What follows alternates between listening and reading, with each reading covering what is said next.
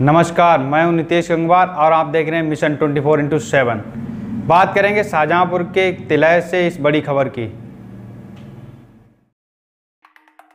शाहजहांपुर की चीनी मिल के अंदर युवक की लाश मिलने से हड़कम मच गया। मृतक युवक की अभी तक शिनाख्त नहीं हो पाई है। फ़िलहाल पुलिस ने सबको कब्जे में लेकर जाँच शुरू कर दी है। घटना थाना तिलहर क्षेत्र के किसान सहकारी चीनी मिल की है।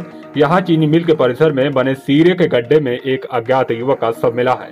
सूचना के बाद मौके पर पहुँची पुलिस ने कड़ी मशक्कत के बाद सबको सीरे के गड्ढे से बाहर निकलवाया। अज्ञात युवक की लाश मिलने से इलाके में हड़कम मच गया। अभी तक युवक की शिनाख्त नहीं हो पाई है। फ़िलहाल पुलिस ने सबको कब्जे में लेकर पोस्टमार्टम के लिए भेज दिया है और जाँच शुरू कर दी है।